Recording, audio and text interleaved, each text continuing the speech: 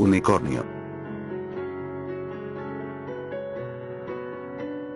Las primeras menciones del unicornio fue dado por el médico griego Ctesias, quien describió a este ser como un animal silvestre de la India con la apariencia de un caballo, con el cuerpo albo, la cabeza púrpura y los ojos de color azul intenso, el cuerno de esta prodigiosa bestia, era negro con la punta roja y la base blanca, y tenía propiedades medicinales que podían sanar problemas estomacales, epilepsia o envenenamientos, después fue descrito como un animal blanco con cuerpo de caballo, barba de chivo, patas de ciervo y cola de jabalí o de león, con un cuerno en su frente que crecía recto hacia adelante, el unicornio era un animal de hábitos solitarios y muy esquivo, pero igualmente agresivo, así que su caza era particularmente difícil, fue así que los nobles de las ciudades medievales mandaron a cazadores hacia la India para dar caza al unicornio, la razón era que su cuerno era codiciado por muchas personas,